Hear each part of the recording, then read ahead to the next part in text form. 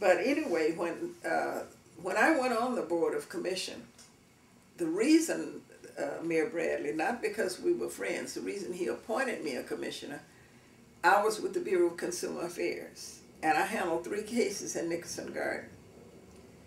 One was uh, Beakins Moving Company, that a lady had bought a bedroom set.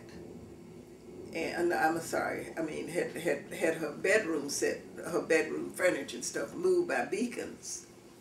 And she was in Louisiana. Her mother was sick and she moved there. But when her mother got better, she was moving back. And she had them weigh her furniture. She said, I only can take so much. So don't take any more than that because I can't afford it. Well, they gave her the figure of what she had, and this was way back there, so it wasn't as high. It was $680. When she got here, they not only doubled the price, they delivered it and didn't call her, and uh, they were going to make her pay a redelivery charge.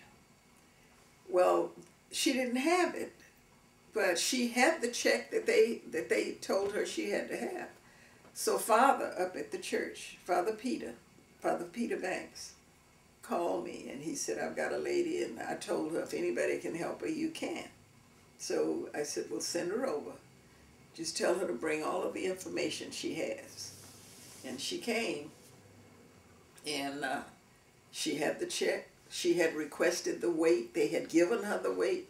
She did what she was supposed to do. And they wouldn't give her her furniture because they were doubling it. They wanted her to pay $1,400.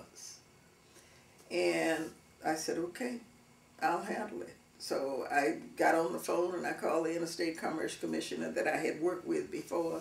I told him what I had. He said, I'll have an office out, I'll have a person out there in an hour.